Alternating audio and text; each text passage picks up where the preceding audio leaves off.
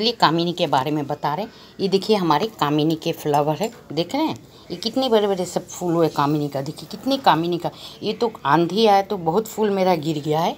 ये सारे कामिनी का पौधा है। देखिए, कामिनी फूल कितनी अच्छे पूरे भरे हुए मेरे कामिनी। है देखिए, ये सारे कामिनी है। कामिनी है जो इसके दो नाम से पुकारते कभी कभी इनको मधु कामिनी भी इसको, और सेकंड है मारवा या ऑरेंज ऑरेंज इसलिए दिया गया कि एकदम लेमन के तरह ये फूल होती है। जैसे लेमन में फूल होती है, उसी तरह ही मारवा में भी फूल होती है। ये रब टप पौधा है, इसके देखभाल की कोई ये ज़रूरी नहीं है। ये बीच बीच इतनी अच्छी है कि भीनी भीनी खुशबू है। देखने में बहुत ही सुंदर लगते हैं। ये सेवा करने का भी कोई ज़रूरत नहीं, क्योंकि ये एकदम इजी टू ग्रो होती है। ये रब टप पौधा है। इसमें कोई आपका देखभाल नहीं है, आप पानी दे, नहीं भी दे, फिर भी ये पौधा सूखते नहीं है, लेकिन थोड़े नमी रहती है। कभी कभी इस पौधे में पानी की ज़रूरत पड़ती है, लेकिन ये समर का प्लांट है, मानसून की। ये बारह महीना पौधी फूल होती है, लेकिन इनकी फूल जो है minimum February to July summer में तो पूरी पौधे में ये फूल भर जाते हैं।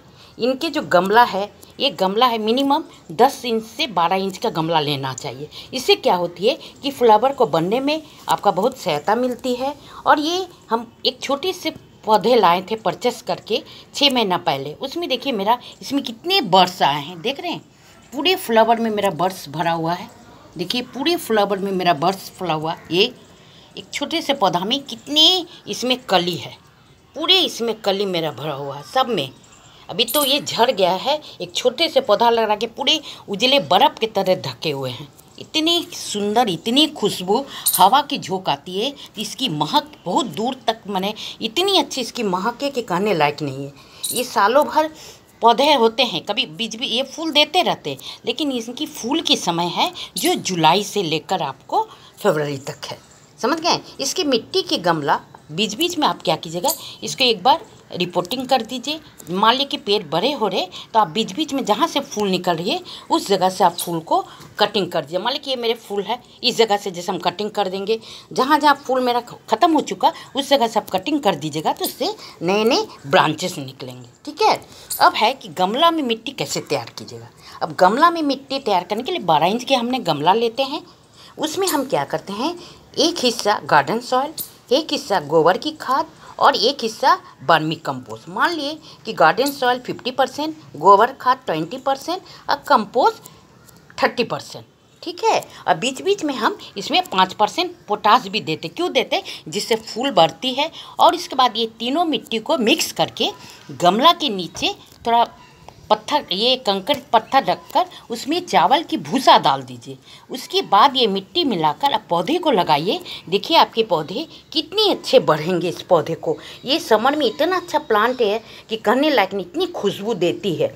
लेकिन कभी कभी बीच में मान लो कि प्लांट ख़त्म हो जाए, फूल ख़त्म हो जाए तो उस पौधे को आप छाट दीजिए। इससे क्या होती है कि आपको नए नए ब्रांचेस निकलती है। लेकिन पानी उस समय दीजिए जब देखिएगा कि आपकी मिट्टी जो है, ये इस तरह का ड्राई हो जाए। तभी दीजिए। लेकिन जब मट्टी आपका एकदम पानी रहे, नमी रहे, तब आप उसमें पानी देने की कोशिश नहीं कीजिए, ठीक है?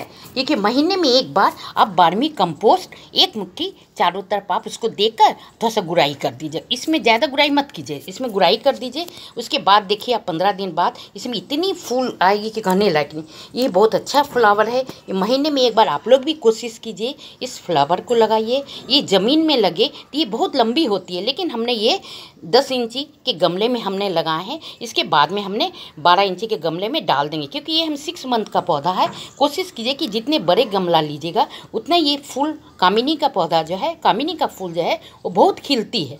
इतनी सुंदर लगती है कि छोटी छोटी गुच्छा में ये फूल होती है कि इतना सुंदर, इतना अच्छा है। बीच बीच में आप काम कीजिए कि एक बार इसको लिक्विड दीजिए। हम क्या करते हैं कि प्याज को जो छिलका है, उसको रात में भिगो देते हैं। उसके बाद उसको सुबह में उसको छान कर आधा लीटर पानी में उसको मिलो कर उसको हम चारों तरफ़ इसको ये कर देते, डाल देते हैं। इससे क्या आता है कि उसको प्रोटीन भी मिलती है, खाद्य पदार्थ भी मिलती है, जड़ भी उसका मज़बूत होता है और जड़ भी उसका स्ट्रांग होता है। इसके फुल सनलाइट चाहिए मिनिमम छः घंटा। लेकिन यदि 40 डिग्री टेम्परेचर रहे तो उस समय आप इसको क्या कीजिएगा कि सनलाइट से हटाकर उसको साइड में रख दीजिएगा। इससे क्या होती है कि इसमें धूप से बच सकता है पेड़ और ये। आपके ये पौधा आपको कैसा लगा? हम जब ये टिप्स बताएँ अच्छा लगे तो हमें लाइक कीजिए सब्सक्राइब कीजिए और कमेंट्स में हमें बताइए। तो मैं फिर नए वीडियो लेकर आप लोग के पास आऊँगा। नमस्कार।